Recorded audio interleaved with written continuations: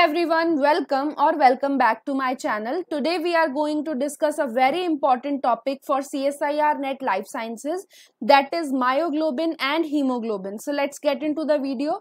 Let us first consider what is myoglobin. तो myoglobin को हम मसल प्रोटीन के नाम से भी जानते हैं इसका जो सिंबल होता है वो होता है M B this is a globular protein मतलब ये स्मॉल स्फेरिकल प्रोटीन है दैट इज़ वाटर सॉल्युबल ये एलोस्टेरिक प्रोटीन की कैटेगरी में नहीं आता है. एलोस्टेरिक प्रोटीन होते हैं ऐसे प्रोटीन जिनसे कोई और मॉलिक्यूल बाइंड करेगा तो उनकी शेप चेंज हो जाती है.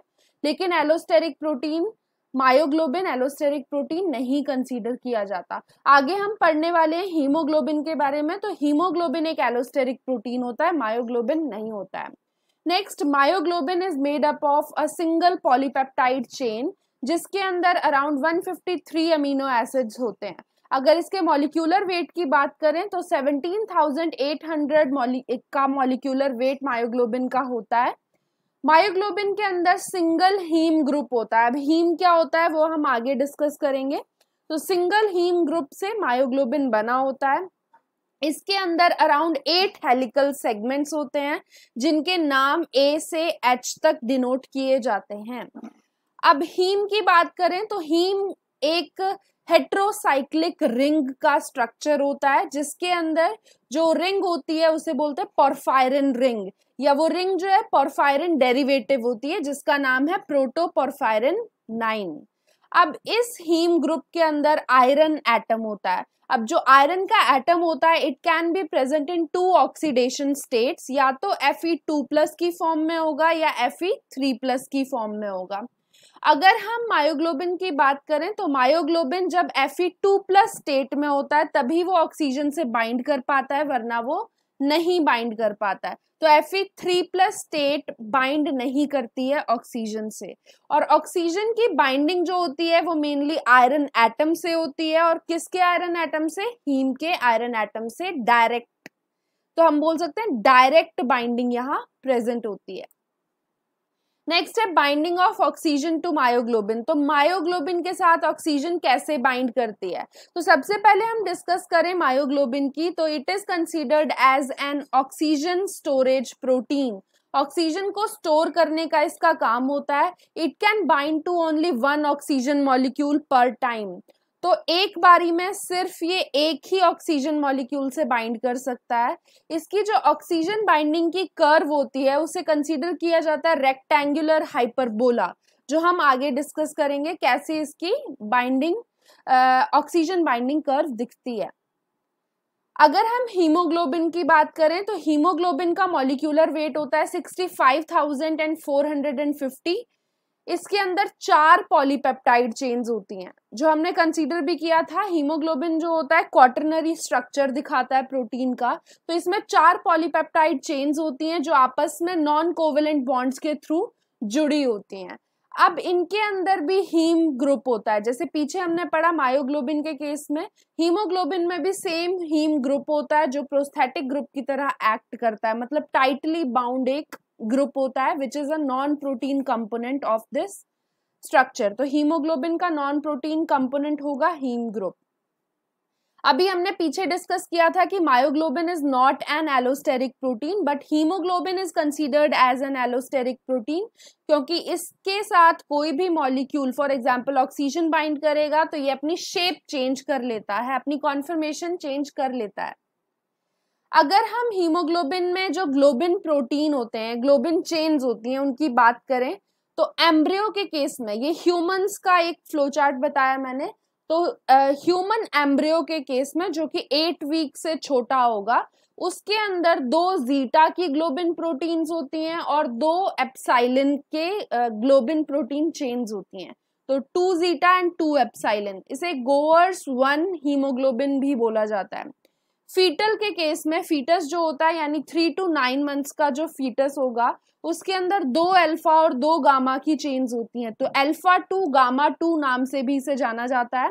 And this is known as H B F यानी hemoglobin of fetus next adult की बात करें तो एडल्ट के केस में दो टाइप के केसेस होते हैं। मतलब एक होता है major type of globin protein एक होता है माइनर यानी जो मोस्ट ऑफ़ द पॉपुलेशन में होगा, वो मेजर वाला है।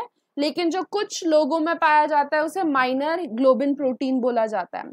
तो एडल्ट्स के केस में मेजर वाला जो होता है, उसमें दो अल्फ़ा और दो बीटा की चेन्स होती हैं, यानी अल्फ़ा टू बीटा टू नाम से इसे कंसीडर किया जाता है।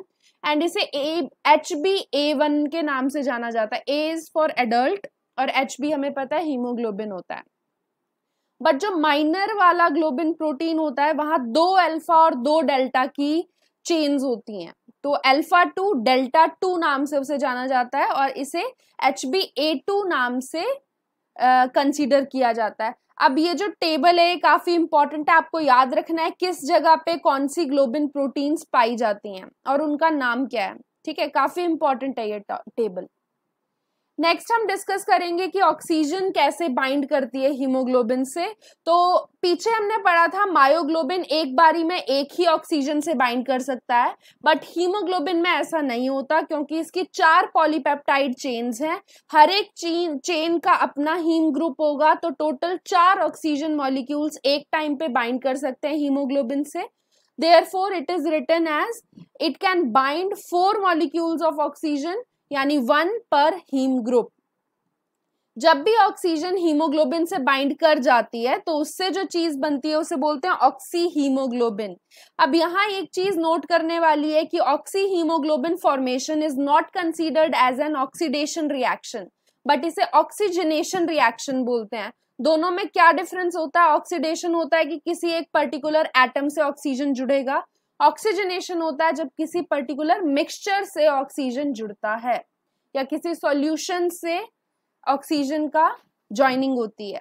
नेक्स्ट चीज़ जो इंपॉर्टेंट है कि मायोग्लोबिन की तरह ही हीमोग्लोबिन भी F two plus oxidation state पे ही ऑक्सीजन से बाइंड कर सकता है। एफ़ थ्री प्लस स्टेट में नहीं बाइंड कर सकता। And this binding is reversible वापस से ऑक्सीजन डिसोसिएट हो सकता है एफ़ टू प्लस स्टेट से। ऑक्सीजन के अलावा हीमोग्लोबिन से कार्बन मोनोऑक्साइड और नाइट्रिक ऑक्साइड जैसी गैसेस भी बाइंड कर सकती हैं जिसकी वजह से कार्बमिनो हीमोग्लोबिन कार्बोक्सी हीमोग्लोबिन ऐसी चीज़ें फॉर्म होती हैं। का, कार्बन डाइऑक्साइड भी बाइंड कर सकती है। तो ये सब गैसेस भी ऑक्सीजन के अलावा हीमोग्लोबिन से बाइंड कर सकती हैं। ऑक्सीजन की बाइंडिंग कर्व जो होती है, वो सिग्मोइडल होती है। मतलब एस शेप्ड होगी और ये जो होती है कॉपरेटिविटी शो करती है। मतलब कि एक ऑक्सीजन जब बाइंड कर जाएगा हीमोग्लोबिन से तो उसके साथ और ऑक्सीजन एटम्स भी कॉपरेटिव मैनर में बाइंड कर सकते हैं। ये वाली प्रोसेस मायोग्लोबिन में नहीं थी, क्योंकि वहाँ एक ही ऑक्सीजन बाइंड कर रहा था। नेक्स्ट अगर हम हीमोग्लोबिन के कॉन्फर्मेशन की बात करें तो hemoglobin is present in two conformation first is T जिसे हम टेंस या टॉट नाम से भी जानते हैं, और दूसरा होता है रिलैक्स्ड यानी आर कॉन्फर्मेशन ये दोनों कॉन्फर्मेशन में इंटरचेंज कर सकता है इंटर कन्वर्जन इसका होता रहता है। अगर टी स्टेट की बात करें तो ये डी ऑक्सी हीमोग्लोबिन के केस में प्रीडोमिनेंट होती है और यहाँ आयनिक इंटरक्शन होते हैं जो इस कॉन्फर्मेशन को स्टेबिलाईज करके रखते हैं। अगर हम रिलैक्स्ड स्टेट की बात करें तो उसके अंदर ऑक्सीजन बाइंड करता है ज़्यादा एफिनिटी से और ये स्टेबिलाईज होता है बाय ऑक्सीजन बाइंडिंग तो मेनली क्या होता है ऑक्सीजन टी स्टेट वाले हीमोग्लोबिन से बाइंड करती है, जिसकी वजह से आर स्टेट बन जाती है।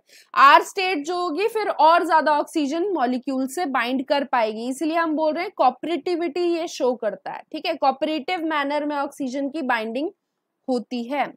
अगर हम मायोग्लोबिन और हीमोग्लोबिन के ऑक्सीजन डिसोसिएशन कर्व की बात करें तो वो कुछ ऐसी दिखती है। इसमें आप देख सकते हो कि हीमोग्लोबिन की जो ऑक्सीजन डिसोसिएशन कर्व है वो एस शेप्ड है, यानी सिग्मोइड है। बट मायोग्लोबिन के केस में जो ये कर्व होती है, वो होती है रेक्टेंगुलर हाइपरबोला अब हम अगर इनके डिफरेंसेस की बात करें, ये डिफरेंसेस काफ़ी इंपॉर्टेंट है, आपको याद रखने हैं। तो हीमोग्लोबिन जो होता है, वो एलोस्टेरिक प्रोटीन है while myoglobin is not an allosteric protein next oxygen dissociation curve of hemoglobin shows sigmoidal conformation या फिर बोल सकते हैं एस शेप शो करती है। बट मायोग्लोबिन जो होती है, वो रेक्टेंगुलर हाइपरबोला नाम, जैसी कर्व शो करती है। मायोग्लोबिन के पास ज़्यादा एफिनिटी होती है ऑक्सीजन से बाइंड करने की हीमोग्लोबिन के कंपैरिजन में। ये पॉइंट काफ़ी इंपॉर्टेंट है। मायोग्लोबिन ज़्यादा अच्छे से ऑक्सीजन से बाइंड करता है as compare to hemoglobin next अगर हम ऑक्सीजन से बाइंडिंग एफिनिटी की बात करें तो हीमोग्लोबिन जो है वो पीएच डिपेंडेंट मैनर में ऑक्सीजन से बाइंड करता है। यानी पीएच जितनी होगी, उसके अकॉर्डिंग ही हीमोग्लोबिन ऑक्सीजन से बाइंड करेगा। इसीलिए हमारी बॉडी के अंदर क्या होते हैं? बफर्स होते हैं। बफर सॉल्यूशन होता है ब्लड के अंदर, जो पीएच को मेंटेन करने की कोशिश करता है, तभी ऑक्सीजन बाइंड कर पाएगी हीमोग्लोबिन से। बट मायोग्लोबिन की बात करें तो वो पीएच इंडिपेंडेंट होता है। मतलब उसे पीएच के रिक्वायरमेंट नहीं है ऑक्सीजन से बाइंड करने के लिए। नेक्स्ट हमने क्या पढ़ा था कि ऑक्सीजन की हीमोग्लोबिन से बाइंडिंग कॉपरेटिव होती है। एक ऑक्सीजन मॉलिक्यूल बाइंड करेगा तो और ऑक्सीजन मॉलिक्यूल्स बाइंड कर सकते हैं। बट क्या है कि हीमो मायोग्लोबिन के केस में ऐसा नहीं होता तो वहाँ कॉपरेटिव नेचर हमें दिखता नहीं है। ये कुछ डिफरेंसेस थे जो बहुत इंपॉर्टेंट है मायोग्लोबिन और हीमोग्लोबिन के रिस्पेक्ट में। नेक्स्ट अगर हम बात करें हीमोग्लोबिन जो है, वो ऑक्सीजन से बाइंड तो करता है बट उसकी एफिनिटी कौन से फैक्टर्स पे डिपेंड करती है?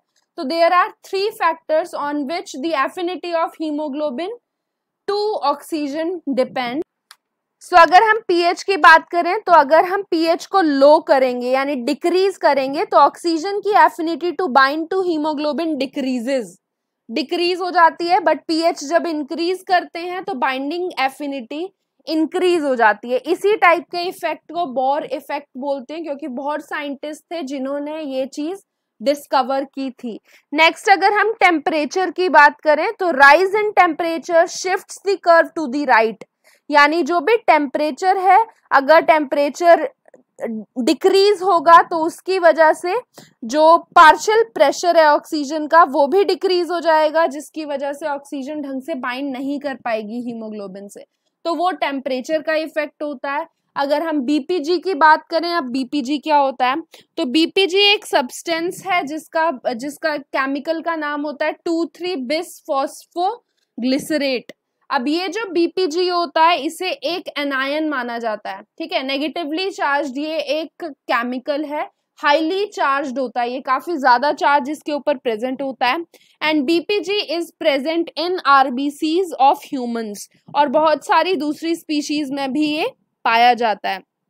तो नॉर्मली क्या होता है, जब भी डीऑक्सीजनेटेड स्टेट होती है हीमोग्लोबिन की मतलब जब वो ऑक्सीजन से बाउंड नहीं है तो हीमोग्लोबिन एक बीपीजी से बाइंड कर जाता है और फिर उसकी वजह से क्या होता है? सॉल्ट ब्रिजेस की फॉर्मेशन होती है और डीऑक्सीजनेटेड हीमोग्लोबिन की फॉर्म जो है, वो स्टेबलाइज हो जाती है।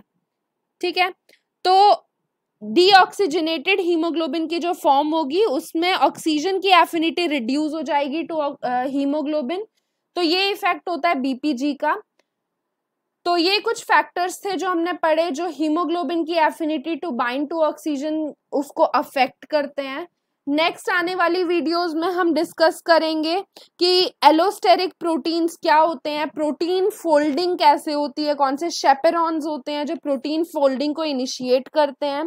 इसके अलावा हम आने वाली वीडियोस में और डिस्कस करेंगे कि प्रोटीन की सीक्वेंसिंग कैसे की जाती है कौन कौन से एनालिसिस टूल्स हैं जिनसे हम प्रोटीन एसेज कर सकते हैं।